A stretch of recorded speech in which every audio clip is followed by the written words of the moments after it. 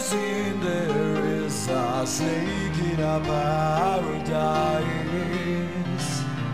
A serpent that's wriggling between us and freezing our feet.